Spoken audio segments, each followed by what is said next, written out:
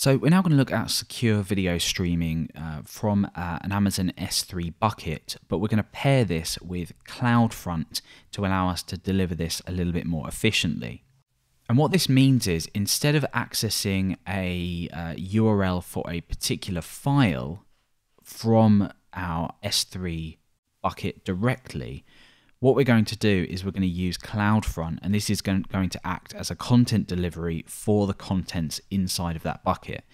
So as well as creating a new bucket, we're going to need to actually uh, set this up and, and add some more code to our start file to actually be able to serve this properly. Now you can see that I've set up a new bucket here. So if you are following along, you're going to need to create a new bucket altogether. Well, you don't have to, but in this case, we'll keep everything nice and separate. And I've called this video.website.com and I've uploaded quite a large file here that I want to, a user to be able to stream on my website. So we've got this file in here that exists and also note that it's actually at the moment a private file. So we can't access this file uh, normally by just using the URL and that's entirely up to you whether you actually want to do that it, it doesn't really matter. But in our case, we're going to tokenize it. And that's so users can't find the video URL and give it to someone else. Again, if you're using some kind of membership behind your website, this is going to be really useful. So the first thing that we need to do then is under your services section, you'll find uh, the CloudFront link, when you go ahead and click that, you'll come into CloudFront distributions and you can set up a new distribution. So remember, we're access accessing this through our CloudFront distribution, not directly on our bucket. So what we want to do then is generate a key pair for our CloudFront distribution. So over under our um, security credential area, you can find that by just by clicking your name in the top here. We're going to generate a CloudFront key pair. And I have a few here that I've created that I've actually deleted. So let's go ahead and create a new key pair. So what we can do here is we can download the private key file, which is exactly what we need to be able to connect up with CloudFront. So I'm going to go ahead and click that, and that's going to download that file for me just down here, you can see. And you're going to need to store this inside of the uh, application that you're working with. Now remember, do not store it in a publicly accessible location. This is much better stored outside of the public directory that you're working in. So just remember to save it in a location that makes sense so users cannot access your private key or they're potentially then going to be able to access your CloudFront distribution. That's really, really important. So I'm going to head, go ahead and quickly save this over in my uh, directory here. Again, store it somewhere completely outside of anywhere that it can be publicly accessible. Uh, I'm just going to quickly copy this over now. Okay, so I've stored that inside of the root directory of my application, which isn't a good idea. Like I said, store it somewhere secure uh, outside of the public uh, access. But we can now use this to actually connect to CloudFront. But we don't have a CloudFront distribution set up. So I'm going to go ahead and click Create Distribution. Under Web, I'm going to click Get Started. And the origin domain name is basically going to be the domain name of the bucket that you want to serve content from. So in this case, it's going to be video.website.com.s3.amazon.aws.com. And I'm going to keep the origin ID exactly the same. So we are eventually going to restrict bucket access, but I'm not going to enable this just now. I'm going to do that in a moment because what I need to do is actually set up an origin access identity in a, in order to do this and tie it in with this uh, this CloudFront distribution. So there's a few options that we have here. Most of these are uh, can sort of be left normal uh, or as they are. Um, we can do things like um, customize the time to live on the files within that bucket. Um, but we're not going to be doing that. We're just going to be testing how they're served in just a moment. Um, there's a few other options if you do need to change anything. But all the way down here, I'm going to hit Create Distribution. Now, this is going to say uh, in progress for quite a while. So what you're going to want to do is just leave that to finish. And once that is finished, we can carry on.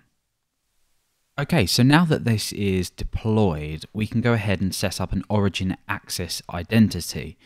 So if we click create origin access uh, identity, we can just hit create on that and we can add a name. So I guess let's just edit this and uh, we'll say video.website.com and hit yes edit. Okay, so now that we've got this then, we can tie this up to the uh, distribution that we created earlier. So let's edit this one. Uh, hit distribution settings. So if we go over to origins, we select this origin that's been created and edit this. We want to restrict the bucket access. So if we click yes here, we can either create a new identity or we can use an existing identity. Remember, we've already set that up just a second ago, so we can choose that one. And what we want to do is grant read permissions on the bucket. We want to update the bucket policy automatically, and we'll see what this entails in just a moment. So I'm going to hit yes edit, and that's gone ahead and uh, added that origin access identity to there. Now, if we head over to our bucket and just give the page a refresh, we can uh, click on video.website.com. We can head over to properties and we can look under the permissions once it's loaded. Uh, if we go under permissions here, you can see it says edit bucket policy. Now, normally this would say add bucket policy, but this has been generated for us already. Now, what we also want to do is we want to restrict access to this by signed URLs only, which is with the tokenization. So under the behaviors area, we want to edit this default behavior here. And uh, we saw this when we set up our distribution, but what we want to do now is restrict viewer access and use signed URLs. So if we hit yes here, um, we can choose the trusted signers. So we can either use, uh, well, you can either specify accounts or use self. In this case, I'm going to use self, which is the current account that I'm using. And let's go ahead and edit that. And that is pretty much all done. So all we need now is the domain name that's um, tied down to this distribution. And we can copy this, so when we go ahead and update everything inside of our app, we can use this. So remember we have our private key stored just here. All we need to do now is actually change a few things inside of start.php. So if we just open that up, we're going to um, use the SDK to access CloudFront. So I'm going to cre create a CloudFront uh, variable here. And this is CloudFront client. And again, we're using a factory here. And we need to pass options in, much like we did for the S3 client. So we need to specify where the private key is. So we say private key. That's going to be the location of the private key that you downloaded earlier and stored. And then we need the key pair ID. Okay, so the private key then is this file just here.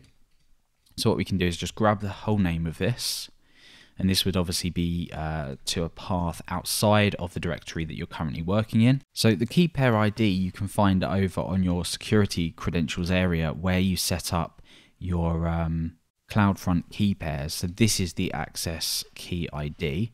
we just paste that in there, this should be all good to go now to actually access uh, CloudFront from here. So over on video.php, we obviously want to tokenize this URL, um, but we need to supply a few settings in our CloudFront config.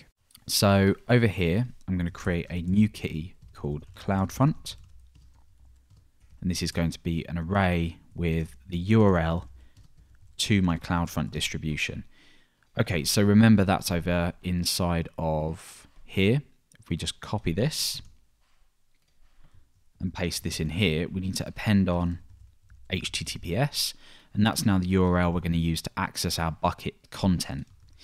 So, what we need to do now then is over in video, we need to define the object that we're accessing. Again, this could come from a database or something like that. In this case, it's called pure CSS tabs.mp4 we need to set an expiry on this URL. Remember, we're tokenizing it or using a signed URL. In this case, we're going to use uh, PHP's datetime functionality to provide, say, 10 minutes of, of access time for this.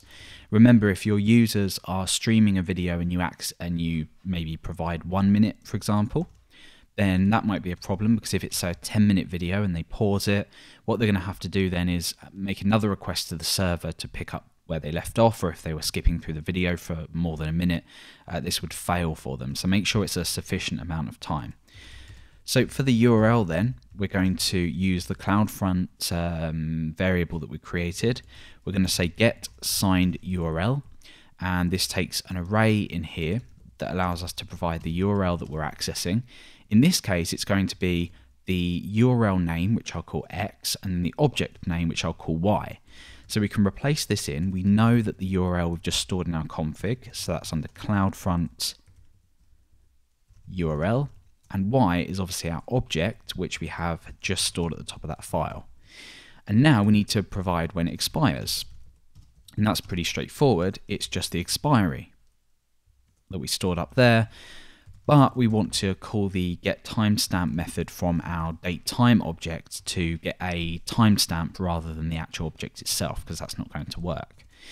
So let's just echo out URL and see what we get here. Make sure we didn't do anything wrong. So let's refresh. Ah, and of course, so this is namespaced. So under start, where we created this, uh, or we used this um, class here, we actually need to provide a import for this because it's namespaced. So it's under AWS CloudFront and it's CloudFront client. So when we refresh now, we get this long URL here, which if we just paste into here, we get an access denied error. So let's just check we've set everything up right.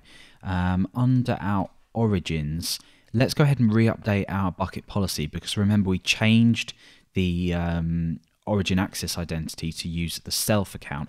So that should have gone and updated that. We can check that uh, by just giving this a refresh, returning back to all of our buckets. So if we just edit this bucket policy, you can see that the uh, this is now changed and it's allowing access through that origin access identity there. So what we can now actually do is retest this URL. So if we just refresh and paste this into here, you can see that that's actually allowing me now to download that file. So we don't want to download it, we want to use it inside of a video. So let's go ahead and do this now. So over in our uh, video.php file, let's end this off and create a document. And let's go ahead and just say video and we'll create a, an HTML5 video tag. We're not going to embed the source just in here. We are going to allow controls. And in here, we're going to define the source where it's coming from. And we're also going to define the type as well. In this case, it's video MP4. You might have lots of different files. Um, oops, sorry, source that should be. You might have lots of different files, different types that's supported on different browsers. In this case, I'm just using MP4.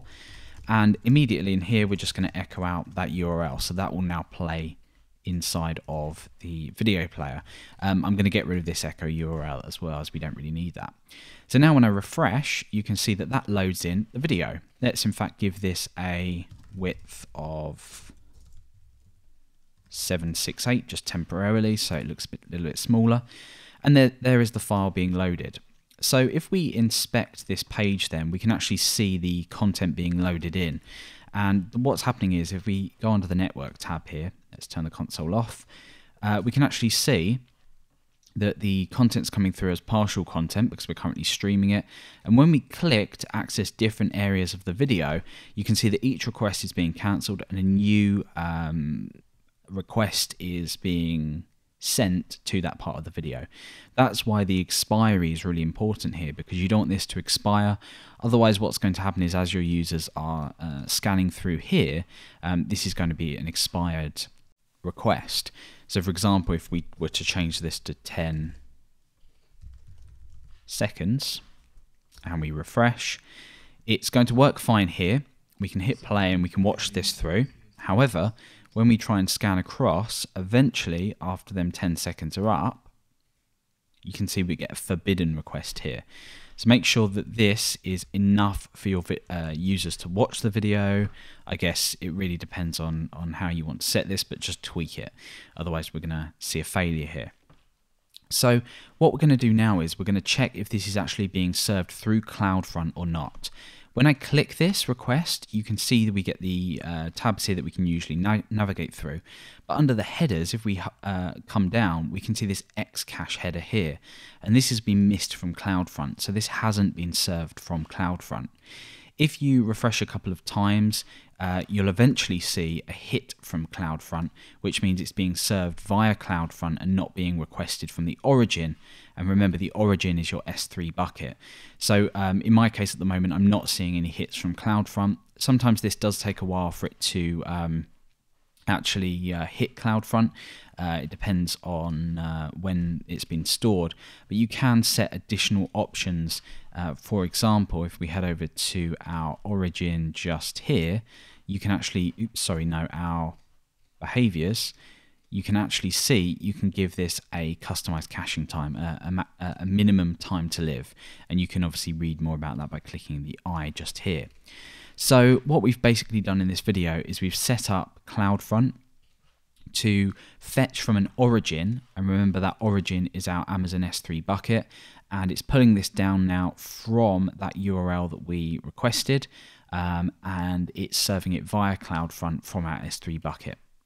Now I've just taken a moment to do a couple of refreshes and you can see that we're actually now getting hit from CloudFront. So that's being immediately loaded in uh, via the content delivery rather than being fetched from the origin. Um, and there's a lot more tweaking that you can actually do with CloudFront to actually better serve files. But this has been a very basic introduction of how you can serve uh, videos and stream videos from S3 using CloudFront.